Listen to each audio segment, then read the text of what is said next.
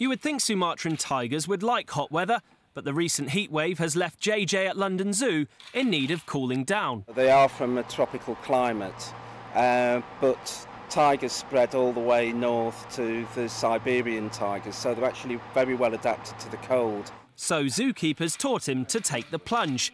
Tigers like water, unlike domestic cats, but for some reason Jae Jae would only swim in the shallow end of his new pool enclosure.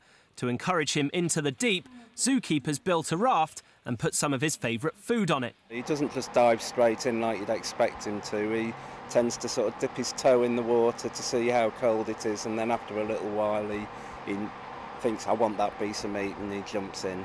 Swimming doesn't just keep Jae Jae cool, it's also perfect for building up the muscles in his arms and legs.